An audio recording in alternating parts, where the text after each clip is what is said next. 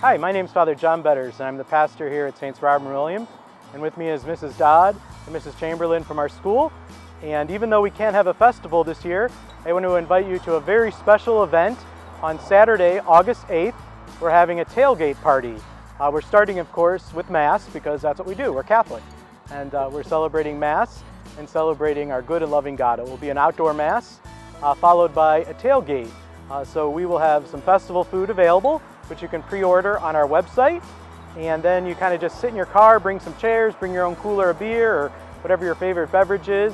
And uh, we'll have some live music and some games and just an opportunity for, in a safe and socially distanced uh, manner uh, to be able to just have fun with one another and to celebrate uh, the goodness of summer and the goodness of our community.